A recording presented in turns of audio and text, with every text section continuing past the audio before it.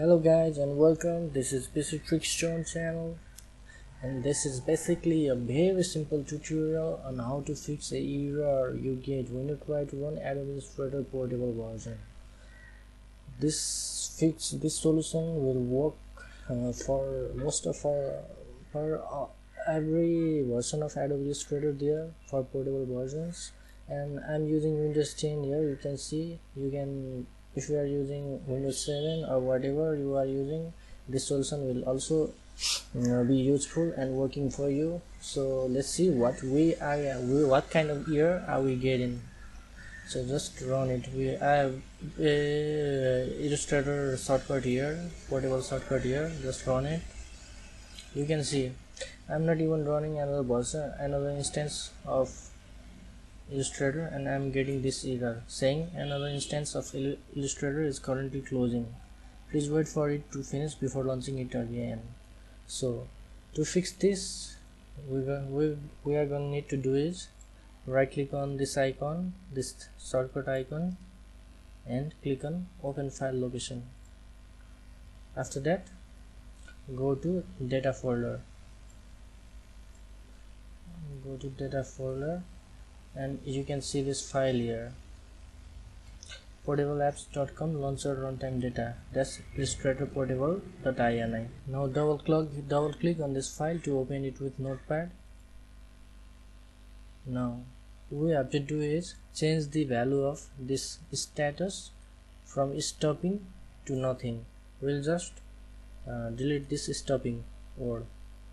Just do this and then save this file after saving it you should be able to run it uh, without any error.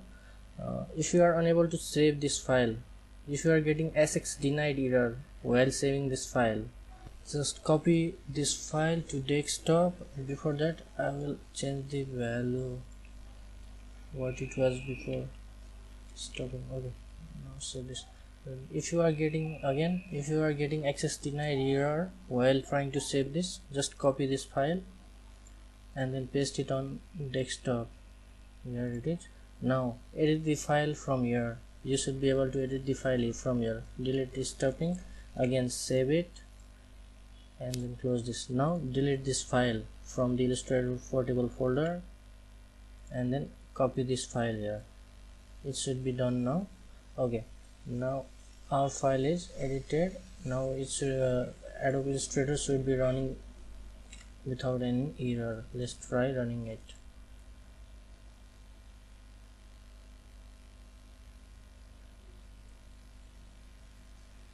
Just wait for some time.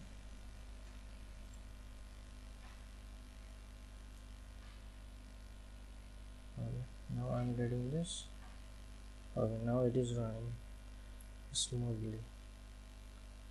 This is very simple you can do this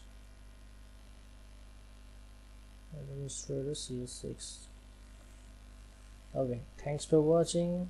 If you like this video if this video worked for you and you are able to use your administrator again just hit the subscribe button and click the like button and support me. Again thanks for watching. Have a good day.